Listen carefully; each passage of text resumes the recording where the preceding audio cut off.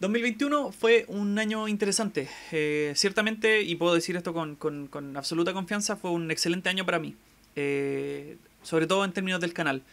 Fue un año eh, de evolución, fue un año de, de crecimiento. el 2021 fue el segundo año que llevo streameando, porque comencé a, a hacer streams y no, y no he parado semana por semana desde agosto del 2020 eh, durante el año 2021 cumplí un año haciendo streams, se celebró como corresponde, eh, pero sobre todo fue un año que, en fondo, intenté cambiar cosas, mejorar cosas, avanzar, evolucionar, eh, o lo que intenté al menos. fue un año consistente y largo, en el sentido de que el año, el año 2020 a pesar de que empecé a streamear dentro de ese momento, estaba aprendiendo, estaba básicamente tomando la, los elementos eh, uno por uno, estaba porque no, no, tenía idea de streamear, no tenía idea de la tecnología, no tenía idea del software dentro de ese momento, así que fui aprendiendo a medida que fui avanzando. Eh, y dentro de este año siento que tenía como un, pie mucho más sólido en, en, lo que es el streaming y lo que, fue, lo que fui haciendo fue mejorando la fórmula más que nada. En términos de, de números, lo que, lo que hice durante el 2020 perdón, del 2021 fue harto contenido, fue harto contenido. Eh, por una parte hice más de 50 streams de contenido. Eh, creo que fueron 52 streams de contenido más o menos.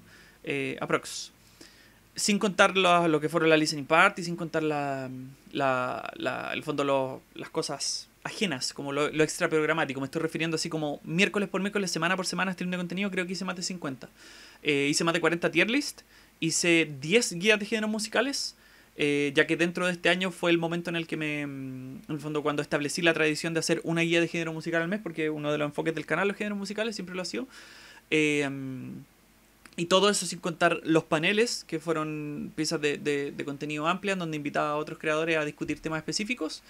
Y la enciclopedia, por supuesto, que fue una de, la, de, la, de las novedades de este año. Esto fue una de, los, de, la, de las cosas más eh, nuevas en el sentido de que nunca antes había hecho algo así. Había hecho en el fondo contenido amplio y, ambicioso, pero nunca tan así. Y hice cuatro enciclopedias. Eh, y cuando digo hice, lo digo de un, sentido figurativo porque en todas me, me, ayudó gente. Hice una enciclopedia de los géneros musicales del rock. Eh, eh, con Raimundo Requelme, del profesor Rayado, hice una enciclopedia de los géneros musicales del hip hop con los chicos de Lucuma, del canal de YouTube Lucuma, que si no, no, lo, han, no lo han escuchado, vayan a seguir ese canal si es les gusta el hip hop. Eh, una enciclopedia de los géneros musicales del metal con Jason de también un canal de metal destacadísimo, y una eh, enciclopedia de los géneros musicales del punk con Nico Merino del de podcast Sonidos con Propuesta. Eh, fueron, en el fondo, yo creo que cuando, cuando veo las cosas nuevas del canal, eh, las cosas que probé y que funcionaron, yo creo que las enciclopedias pueden ser quizás la más grande en el sentido de, de de la ambición, de fondo del trabajo que tomó y sobre todo, como, como dijo Nico eh, cuando hicimos la, la, enciclopedia del punk, eh, algo que simplemente la gente no hace, porque hay enciclopedias de géneros musicales, hay una de la electrónica que es bastante aclamada, que la pueden googlear ahí así como eh, Electronic Music Encyclopedia y les va a salir. Eh, que ciertamente es admirable y gigante, pero la gente tiende a no hacer eso y sobre todo no hace eso en espacios poco teorizados como el punk, porque yo creo que el pasado del punk está sobre teorizado con todo el tema del protopunk y todo eso, pero el presente no. Eh, y esas cosas creo que no existen mucho. Eh, entonces, en términos como de, de, la búsqueda y de hacer algo aportador, siento que se puede ser como la gran corona de la, del, del, del, del año eh, para, el, canal, en términos de, creatividad, en el fondo de, algo que, quizás no estaba antes. Eh,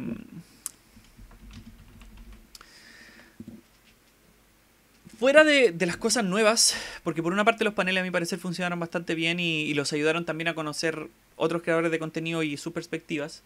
Eh, este año fue un, fue un, año de cambios también en los formatos antiguos. Por una parte, eh, no solamente hice esta, estas piezas de contenido nuevo, sino que también fue un año de, cambio en el formato de, las cosas que ya había hecho antes, en el sentido de que las tier han cambiado bastante, sobre todo si que ustedes estaban en, los primeros meses de, los streams de Sin Delay, las tier eran muy distintas en presentación, en formato, en argumentación, también siento que eran peores.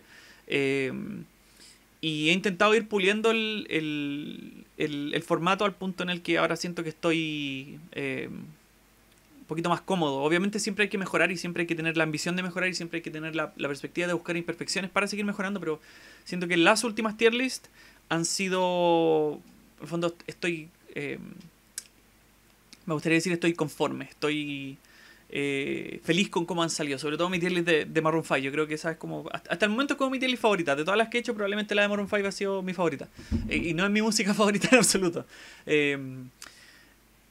Y bueno, además de, la, de, de, las cosas nuevas, he hecho cambio en, en un par de cosas más por una parte, un, un, segmento bien antiguo y que yo siento que, que, que era harto peor antes y, y, he intentado pulir el segmento de, la, de las opiniones. Eh, no de la opinión no basada, sino que de los segmentos de opinión. Las la editoriales del canal, siento que ahora como que tengo la cabeza más centrada en la argumentación y tener una estructura de argumento por argumento.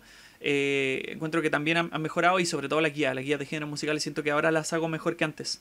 Eh, porque si miran mis guías antiguas, que se sienten súper, súper antiguas, como la, la del, la del indie rock y la del metal alternativo, eh, la presentación visual, la argumentación también es como demasiado enfocada en álbum específico en lugar de hablar de género y siento por ejemplo que mi guía de rock alternativo eh, puede ser mi mejor guía de género hasta el momento en el sentido de, la, de, toda la música que tomé y de, de cómo la, la, abordé y la, la, la destilé básicamente. Eh, entonces ha habido cambios, ha habido cambios dentro de los segmentos antiguos igual y siento que, es que el 2021 ha sido, ha sido un año de, de, de evolución, de evolución. Eh, y los segmentos nuevos de este año siento que han triunfado, porque para los que para los que recuerdan este, este momento específico del año pasado, les dije que quería probar cosas nuevas, y esas cosas nuevas que probé en gran parte triunfaron. Por una parte, eh, los topsters siguen siendo hasta el día de hoy un, un, segmento usual que les llama la atención y que trae gente. Las opiniones no basadas, eh, creo que funcionaron bien, a pesar de que no todos los segmentos creo que son igual de buenos y no siempre intenté como dejar el punto lo más claro posible y ciertamente podría haber sido mejor mi argumentación y mi perspectiva al, al hablar de estas eh, opiniones no basadas, eh, pero en general los, los, formatos han funcionado, eh, los formatos han funcionado.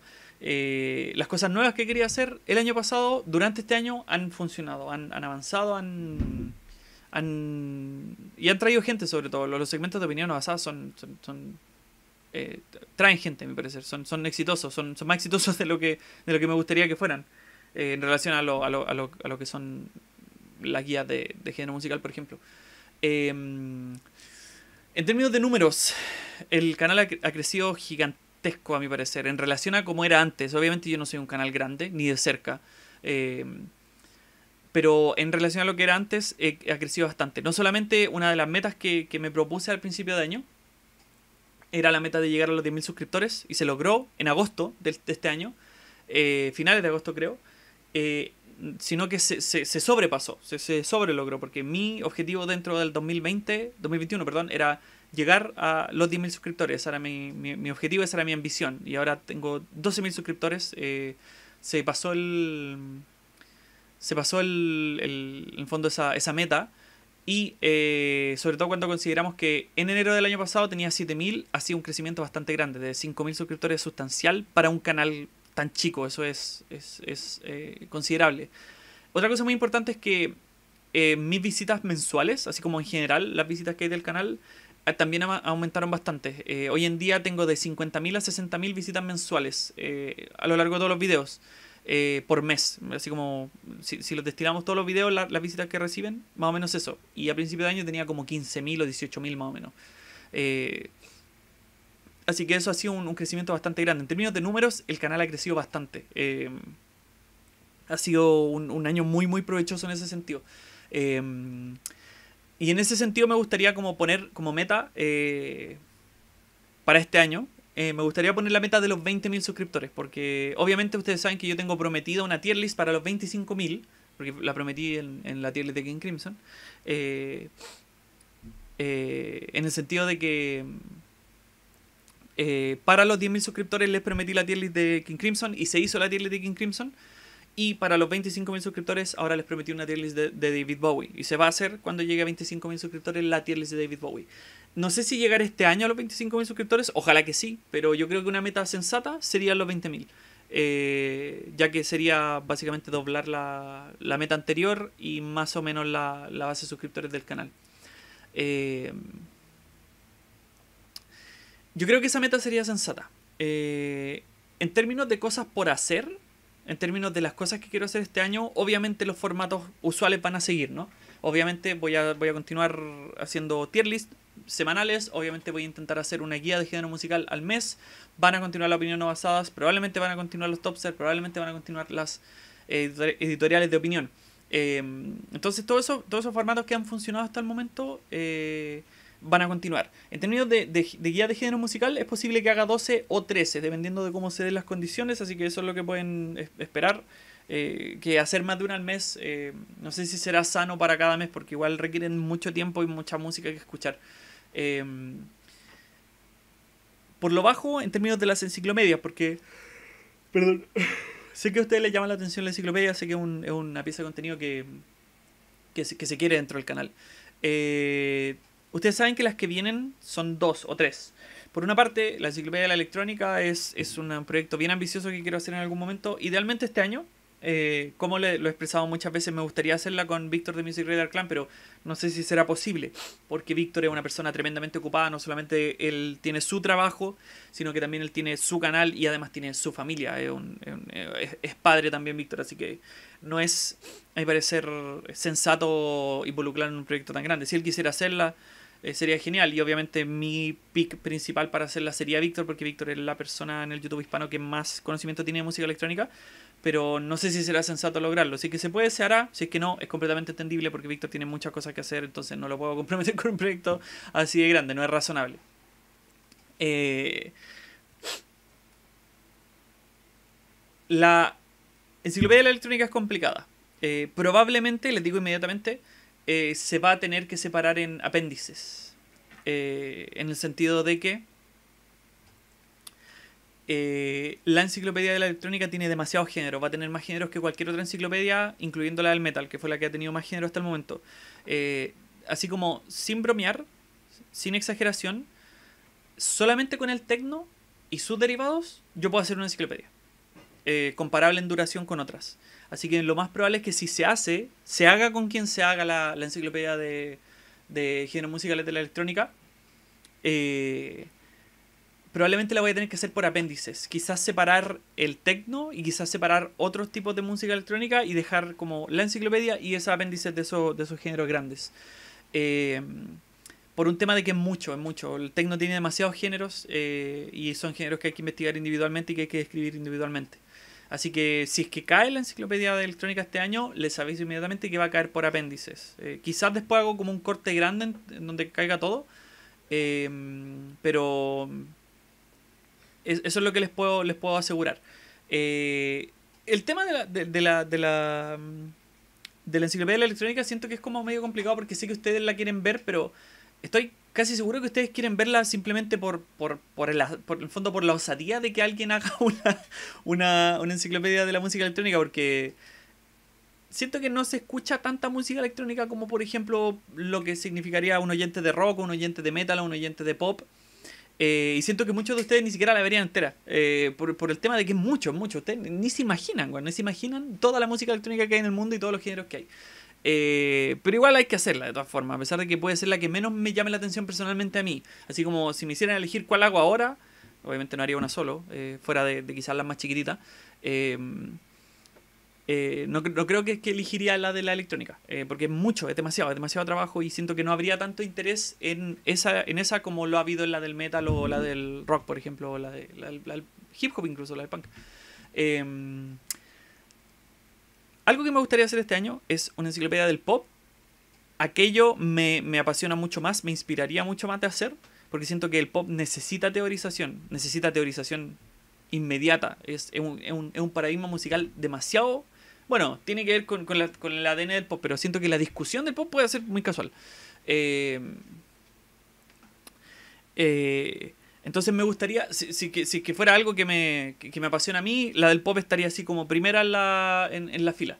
Eh, y eh, bueno, para la del pop me gustaría, no sé, eh, quizás con Conejillo de Indie, pero también Manu es una persona muy ocupada que es psicólogo y tiene su trabajo como psicólogo y no sé si le podría exigir tanto tiempo a él, sobre todo considerando que, que, incluso su canal es algo que, que, que recibiría mejor ese tiempo porque es su proyecto, pero Eh, la del pop es algo que me gustaría hacer, la haga con quien la haga, y quiero hacer una del folk solo. Ya le he dicho mil veces esto, yo quiero hacer una enciclopedia del folk solo, así como sin colaborar con nadie.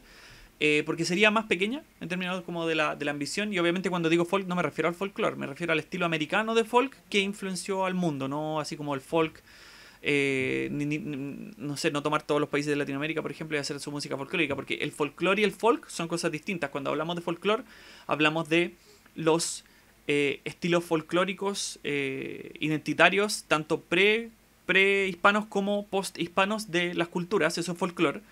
y folk es el estilo americano del folk. Estamos hablando de folk, en el fondo folk rock, folk pop, Ustedes saben, pues, folk progresivo, folk psicodélico, todo eso. Esa, la quiero.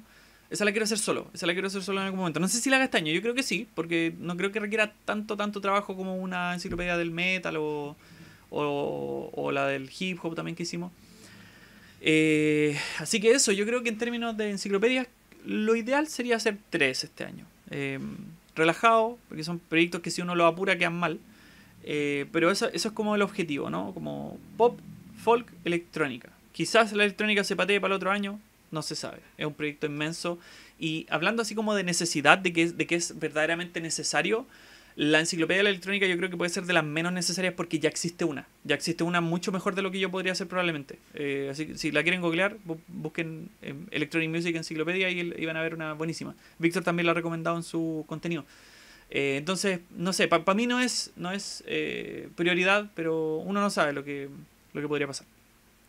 Eh, quedan muchos paradigmas por enciclopediar en el futuro. Eh, de, que, de que va sí o sí una enciclopedia de música afroamericana, va. Eh, pero yo creo que también tendría que ser un apéndice del jazz en esa. porque hay mucho, hay mucho jazz y no, no se puede. No se puede. incluir con todo junto porque si no sería un stream como de 8 horas.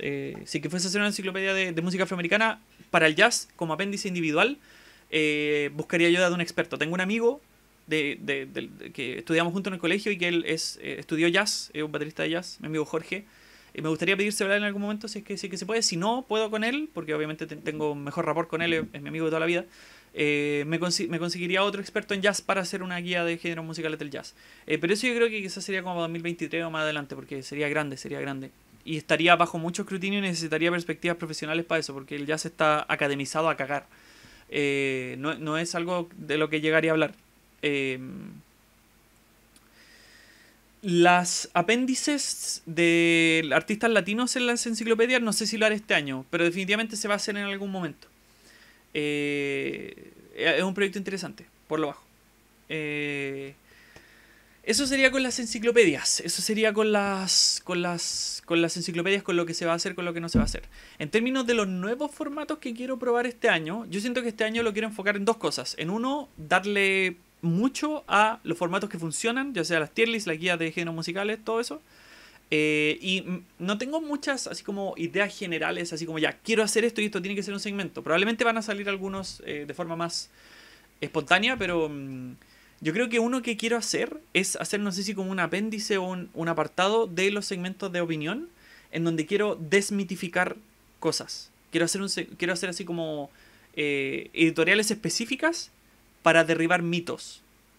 Mitos grandes. Yo creo que los mitos de, la discusión musical ustedes se lo saben, como por ejemplo, uno que me gustaría abordar es esta idea que a mi parecer es ridícula, es ridícula, eh, que el hip hop estaba muerto hasta que llegó Kanye y lo revivió. Eso es un mito gigantesco que me gustaría abordar en una, en una enciclopedia, perdón, en una, en una editorial de opinión. Eh, el mito de que los psycho inventaron el punk, también me gustaría abordarlo. El mito de que el rock está muerto, también me gustaría abordarlo. Eh, y ustedes saben, hay un montón de mitos hueones en torno a la música que la gente cree solamente porque les, les deja, en el fondo, hablar de música sin escuchar música y es como la, opción fácil de, de, tomar, ¿no? Em, entonces, mitos de discusión musical los quiero ir abordando. Eh, obviamente hay grandes mitos como esos que mencioné y hay uno más chico, por ejemplo, no sé, alguno que no, siento que sea prioridad, por ejemplo, que, que dicen que eh, cuando la gente dice que... Bueno, bueno ya lo abordé en la, en la, en la tier list de, de Arctic Monkeys, que, el, que la M un disco de, indie rock o que, o que Pink Floyd una banda rock progresivo. Eh, ustedes saben. Eh, así que eso, eso, eso es algo que quiero probar. Eso es algo que quiero probar esta, esta, mm, este año. Tomar esos mitos que son completamente nocivos y tóxicos para la discusión musical y derribarlo inmediatamente. Eh, en términos argumentativos, con el fin de que la gente tenga un recurso y cada vez que pillen a alguien diciendo una estupidez como que, el hip hop estaba muerto hasta que llegó Kanye, ustedes saben, lo puedan citar como, como recurso, ¿no? eso es un objetivo. Eso sería como una pieza de contenido nueva que me gustaría hacer. Em, y otras, yo creo que otras piezas de contenido nuevas van a ir apareciendo a medida que vamos avanzando. Em, obviamente el tema, y muchas van saliendo como extensiones. Por ejemplo, el tema de las opiniones basadas, que yo creo que son mucho más interesantes que las opiniones no basadas, porque hay gente que realmente le, le interesa la música hablando. Eh, esa salió como por, por virtud de, de, expandirse nomás por el, por formato de opinión no basada y también es porque no quería que la gente creyera que estoy en contra de la opinión impopular. Que yo creo que ustedes lo saben, no tengo que explicárselo a ustedes, pero se puede generar esa idea y, está mal. Eh, entonces, ese, ese sería como uno de los, de los elementos que me gustaría hacer nuevos y obviamente otras cosas nuevas van a ir saliendo a medida que vamos avanzando el año, porque estas cosas, en mi experiencia, nuevas ideas para segmentos salen así nomás, así como por streamear y de repente se te, se te, mm, se nomás. Así que eso sería como idea nueva para este año. Las metas ya, ya las mencioné y yo creo que eso sería como el resumen del, del 2021 para el canal. En términos del, del, crecimiento, en términos de lo que se hizo, de lo que no se hizo, de lo que se, se quiere hacer para el, para el próximo año. Eh, y nada más, pues no, no, sé si, no sé si me gustaría decir algo. Eh, algo más. Eh, obviamente, eh, me gustaría agradecerles, como siempre, al, al, chat, a la gente que ve el canal, a la gente que comparte los videos, a la gente que. También, obviamente, a los miembros del canal que aportan de forma monetaria al, proyecto. Y esperar que el 2022 sea un año, en el fondo, igual de, prolífico, porque yo creo que, que, una de las cosas que más me planteé, fuera del crecimiento de suscriptores, fuera de, de, ese tipo como de cosas numéricas, era consistencia, ¿no? Hacer todo el año streams, que hubiera cada miércoles un stream. Eh, y siento que eso se logró. Y eso... Em, eh, es, eh, de eso es lo que estoy feliz. Y ojalá, obviamente uno no lo sabe, uno, simplemente no lo puede saber porque son condiciones que uno no, maneja, pero ojalá eh, se pueda continuar el año 2022 con, con esa consistencia, miércoles tras miércoles haciendo contenido. Así que nuevamente, muchas gracias por, por este 2021 tan provechoso, tan grande, con tanto crecimiento, con tanta gente. Eh, muchas gracias por, por, ver el contenido, sobre todo por compartirlo. Eh, gracias por, en el fondo, por aportar con, con, con ideas para los segmentos que, que, se necesitan. Gracias por, por, en general, por apoyar el proyecto. Eh, y nuevamente, sobre todo, muchas gracias a, a los miembros del canal por su apoyo monetario, que no, no, es necesario de ninguna manera y, y es una, una muestra de, de, gentileza, de todas formas. que obviamente no es necesario que, que apoyen monetariamente el canal, con, con verlo y con compartirlo es más que suficiente. Eh, siempre, siempre he dicho esto y siempre ha sido así. Eh, eso, eso, voy a dejar en eso este segmento. Nuevamente muchas gracias. Ojalá que este año 2022 sea grande, que sea provechoso, que tenga crecimiento el canal también y que logre hacer las cosas que quiero hacer, eh, que logre colaborar con la gente que quiero colaborar y que sigamos